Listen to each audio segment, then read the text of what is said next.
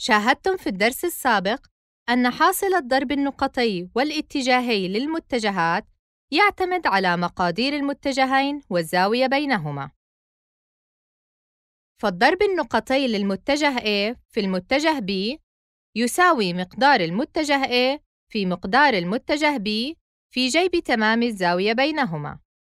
والضرب الاتجاهي للمتجه A في المتجه B يساوي مقدار المتجه A في مقدار المتجه B في جيب الزاوية بينهما في متجه الوحدة العامودي عليهما n. ويمكن تحديد اتجاه متجه الوحدة n باستخدام قاعدة اليد اليمنى.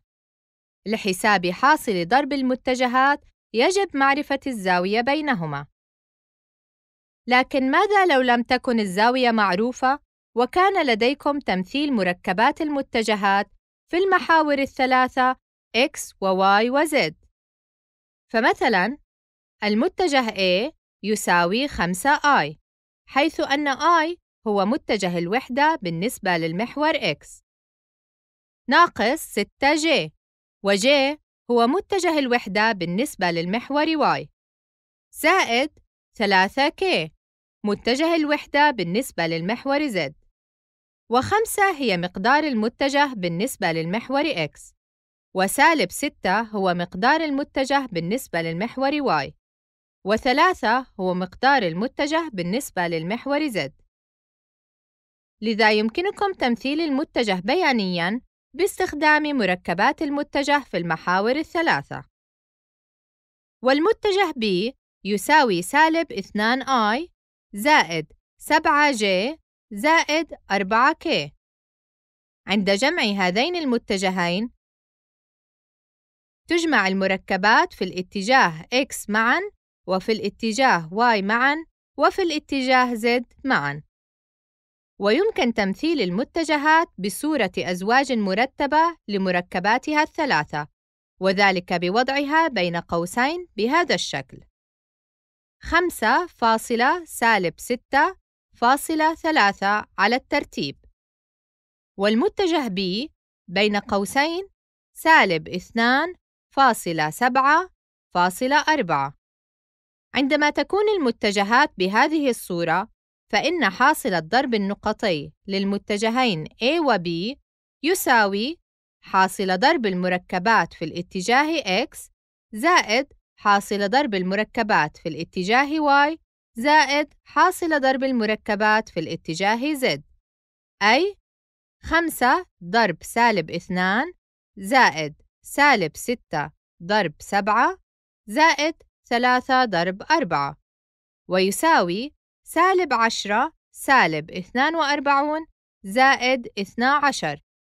سالب اثنان وخمسون زائد اثنا عشر ويساوي سالب أربعون. لاحظوا أن الناتج عدد وهو سالب. وذلك لأن المتجهين يشيران في اتجاهين متعاكسين وبالتالي فإن مسقط أي متجه منهما على المتجه الآخر سيكون في الاتجاه المعاكس. إذا حاصل الضرب النقطي هو مجموع حاصل ضرب مركبات المحور x وحاصل ضرب مركبات المحور y وحاصل ضرب مركبات المحور z أو يمكنكم حساب مقدار كل متجه ثم استخدام حساب المثلثات لمعرفة قياس الزاوية بينهما والتعويض في المعادلة التي في الأعلى. الآن، ماذا عن الضرب الاتجاهي؟ عندما تكون المتجهات بهذه الصورة، يمكن حساب حاصل الضرب الاتجاهي بجمع المتجهين معاً في مصفوفة ثم حساب محدد المصفوفة. إذن، حاصل الضرب الاتجاهي ل A و B يساوي محدد المصفوفة من الدرجة الثالثة. لحساب محدد المصفوفة، اكتبوا المتجهين معاً بصورة مصفوفة من الدرجة الثالثة. في الصف الأول، متجهات الوحدة I و J و K، ثم مركبات المتجه الأول في الضرب الاتجاهي، لأن الترتيب يؤثر على حاصل الضرب. هنا خمسة ثم سالب ستة وأخيراً ثلاثة. والمتجه الثاني B في الصف الثالث هذا سالب اثنان ثم سبعة وهنا أربعة. هذه مصفوفة ثلاثة في ثلاثة. لحساب محدد مصفوفة ثلاثة في ثلاثة احسبوا محدد مصفوفة اثنان في اثنان لكل مركبة في كل اتجاه. أولاً مركبة متجه الوحدة I وذلك بالتخلص من العمود والصف الذي يحتوي على المتجه I يبقى في الصف الأول سالب ستة وثلاثة وفي الصف الثاني سبعة وأربعة ضرب I هذا محدد المركبة في الاتجاه X تذكروا عند حساب محدد مصفوفة ثلاثة في ثلاثة إشارة I موجبة و J سالبة و K موجبة. لذا هنا سالب محدد المركبة J وهو باستثناء الصف والعمود للمتجه J هنا خمسة وثلاثة وفي الصف الثاني سالب اثنان وأربعة. ضرب J زائد محدد المركبة K وذلك باستثناء صف وعمود المتجه K هذا خمسة وسالب ستة. وفي الصف الثاني سالب اثنان وسبعة ضرب K. هذا يساوي محددات المصفوفة اثنان في اثنان لكل مركبة. وذلك بطرح حاصل الضرب القطري لعناصر كل مصفوفة.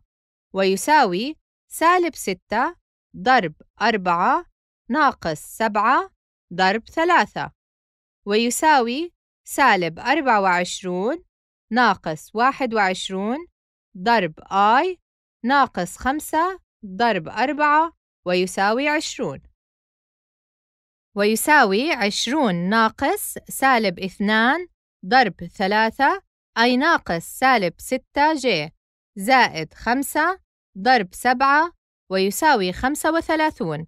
ناقص سالب اثنان ضرب سالب ستة ويساوي ناقص موجب اثنا عشر ك ويساوي سالب أربعة وعشرون ناقص واحد وعشرون ويساوي سالب خمسة وثلاثون آي وهنا عشرون ناقص سالب ستة يساوي عشرون زائد ستة أي ستة وعشرون. لا تنسوا إشارة ناقص خارج القوس. هذه سالب ستة وعشرون ج وخمسة وثلاثون ناقص اثنى عشر يساوي ثلاثة وعشرون. هذه زائد ثلاثة وعشرون ك. لاحظوا أن حاصل الضرب الاتجاهي متجه له مقدار واتجاه. إذا وجدتم صعوبة في فهم الضرب الاتجاهي باستخدام المصفوفات يمكنكم مراجعة دروس المصفوفات في الرياضيات.